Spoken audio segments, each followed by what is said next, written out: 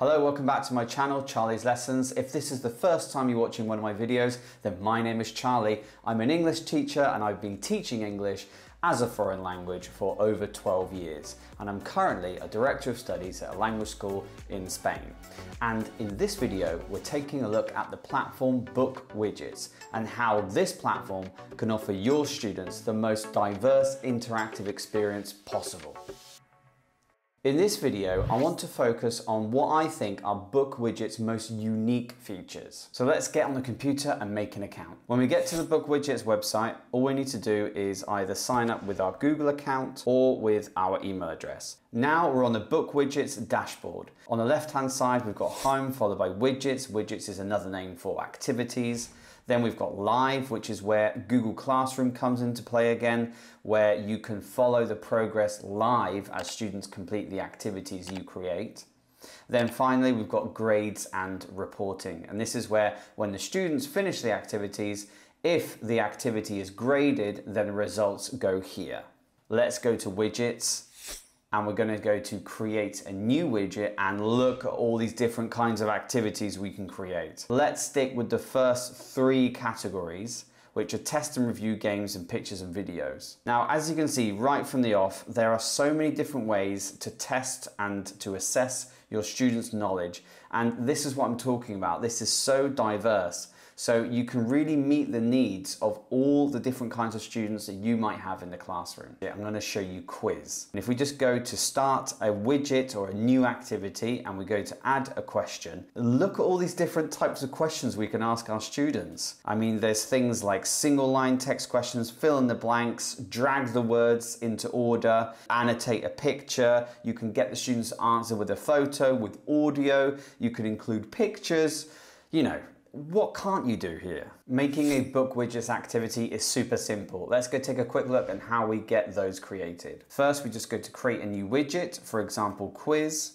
And the great thing about this website is it gives you clear instructions no matter what activity type you choose on how to get set up. So this one, for example, I had a fill in the blanks question. So I had to put the question and then here at the top, it tells me how to input the answers. So I needed to include these arrows between the words that I wanted to blank out in this case. So if we take a look at this, you'll see here that the word Charlie is blanked out and I'd have to just complete that. So I'll just write Charlie's lessons. I think that's the correct answer, right? Right. To share an activity with your students, all you need to do is go to share and now it's going to automatically ask you to share it to Google Classroom. Something very important, you do not have to have Google Classroom to use this platform. One of the biggest benefits of using Book Widgets is the way it's integrated into Google Classroom.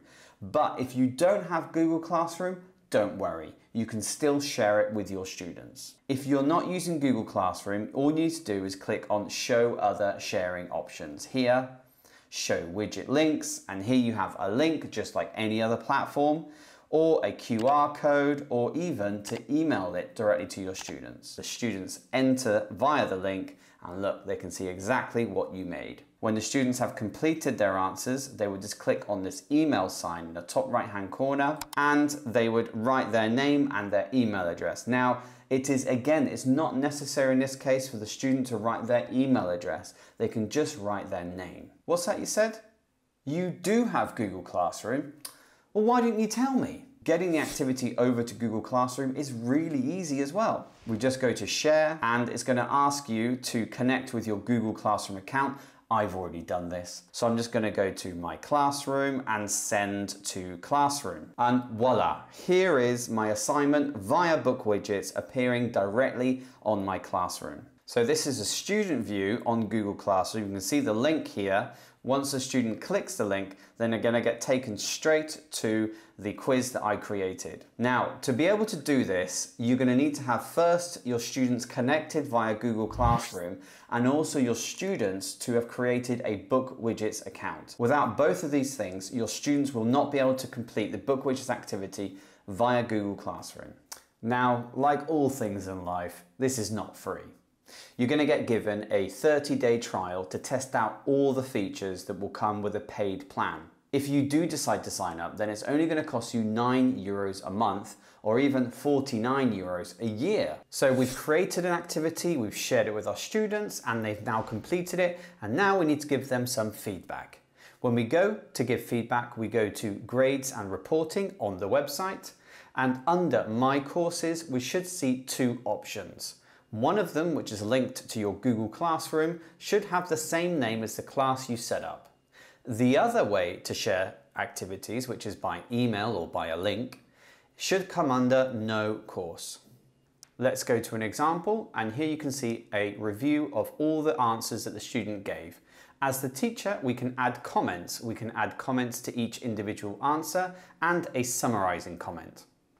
Once we've added our comments, we just need to go to return work at the top. Now to do this, we do need some contact details for the student. This could be an email address, for example, and I just add it into this space here and press send. For the student, all they need to do is check their email account and they should have an email from Book Widget Student Work.